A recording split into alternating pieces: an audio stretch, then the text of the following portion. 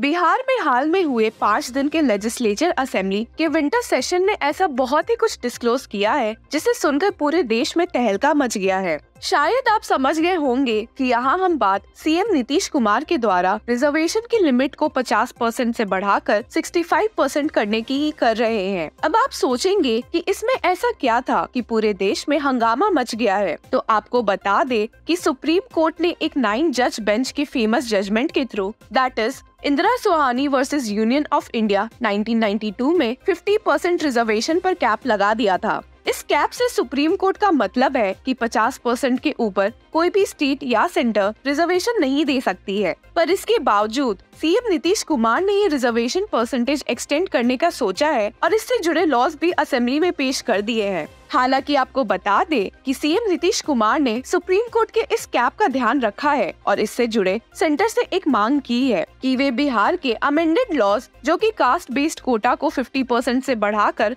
65 percent fix करता है, को कॉन्स्टिट्यूशन के नाइन्थ शेड्यूल में लिस्ट कर दे। जी हाँ आपने सही सुना। इस वीडियो में हम इसी टॉपिक पर चर्चा करेंगे कि क्या जेडीयू और आरजेडी मिलके सेंटर को रिजर्वेशन लॉज नाइन शेड्यूल में लिस्ट करने को कह सकती है और क्या कोर्ट्स में ये चैलेंज हो सकता है या नहीं। इसी के साथ साथ हम ये भी डिस्कस करेंगे कि आए दिन नीतीश कुमार ने और कौन से वादे बिहार के लोगों को किए हैं। जिन्हें नहीं पता, उनको बता दे कि नाइन्थ शेड्यूल ऑफ़ कॉन्स्टिट्यूशन में वैसे सेंट्रल और स्टेट लॉज लिस्टेड है, जिन्हें कोर्ट्स में चैलेंज नहीं किया जा सकता है। मतलब they are immune to legal challenges हालाँकि इसी बात का विरोध करते हुए भारतीय जनता पार्टी लीडर और राज्यसभा एमपी सुशील कुमार मोदी ने आरजेडी और जेडीयू दोनों पर निशाना भी साधा है कि आए दिन उन्होंने बिहार को बर्बाद कर दिया है और अंत में जाकर सारी बातों का दोष यूनियन पर डाल रही है कि उन्होंने उनकी कोई मदद मदद नहीं की है। इसी के साथ साथ सुशील मोदी ने नीतीश कुमार को फटकार भी लगाई है। ये कहते हुए कि वे लोगों में गलत बातें फैला रहे हैं। इसलिए क्योंकि नाइन्थ शेड्यूल जुडिशियल रिव्यू के पड़े नहीं है और ऐसा सुप्रीम कोर्ट ने भी कई जजमेंट्स के थ्रू कहा है। क्या है वो जजमेंट्स? हम आगे देखेंगे। पर इन सबसे पहले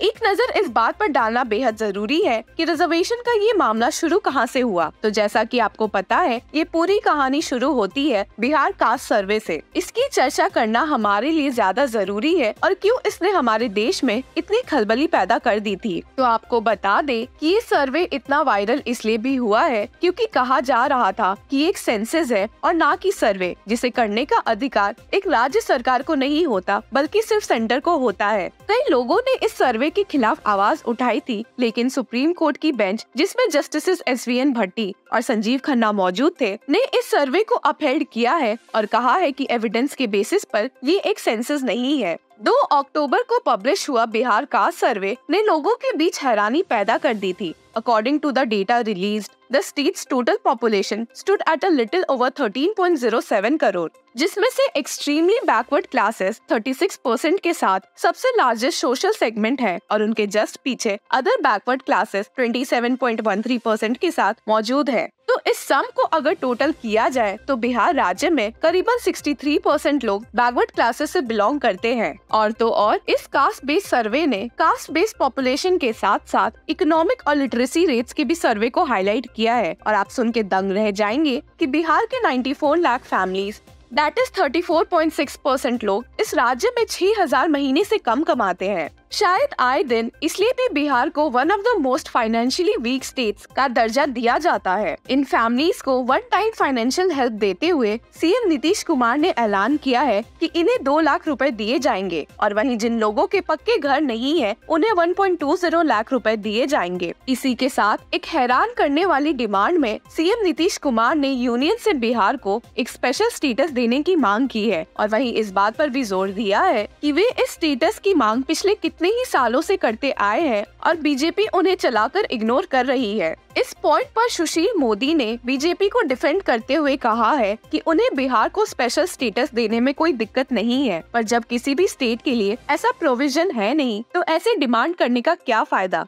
सुशील मोदी ने इस बात पर ज़ोर दिया कि नीतीश कुमार इस बात से सिर्फ़ ये जताना चाह रहे हैं कि गलती बीजेपी वालों की है और न कि उनकी। सुशील मोदी ने जेडीयू और आरजेडी पर निशाना साधते हुए कहा। It is just to shift responsibility. Those who have ruled Bihar since independence will have to take the responsibility for the mess the state finds itself in today. It was RJD leader Lalu Prasad who prevented special status to Bihar when it was possible, and Tejasvi Yadav should first ask his father why he did so. ये तो बात हो गई बिहार के special status की और अब discuss करते हैं कि क्या नाइन्थ शेड्यूल में अमेंडेड लॉज डालने से सुप्रीम कोर्ट में इसके अगेंस्ट केसेस फ़ाइल हो सकते हैं या नहीं the ninth schedule of the constitution includes a list of central and state laws that can not be challenge in courts including the two amendment bills in the ninth schedule, would make them immune to legal challenges. Nitish Kumar ne in दो amendment laws, that is the Bihar Reservation of Vacancies in Post and Services Amendment Act 2023 and the Bihar Reservation Admission in Educational Institutions Amendment Act 2023 को ninth schedule में इसलिए रखने को कहा था ताकि वे judicial review से बच सके क्योंकि सुप्रीम कोर्ट ने 50 परसेंट रिजर्वेशन पर कैप लगाया है